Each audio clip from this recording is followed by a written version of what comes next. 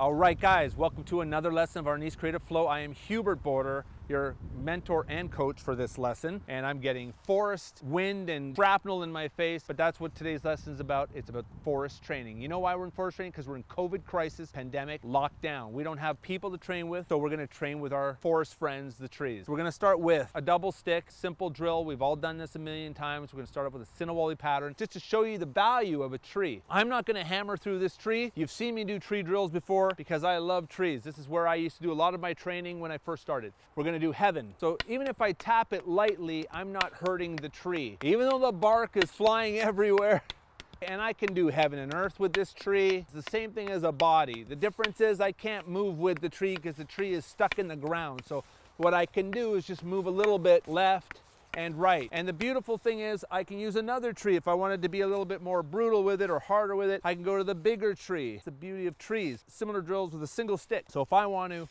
just do my slashes Okay, I can just practice my slashes on them or my strikes. Okay, and I can practice my abanicos, my diagonal witiks, my elasticos, my payung. I can check it and I can flow with my tree because I love trees and I love the forest. That's all you need to know for today's lesson. Use the forest to your advantage during this pandemic. There's a lot you can do in it with Arnis training. I'm Hubert Boorder, your coach and mentor for Arnis Creative Flow. If you like what you're seeing and want me to do more, please hit subscribe, give me a thumbs up, and leave comments because I will get back to you. And see you on the next one.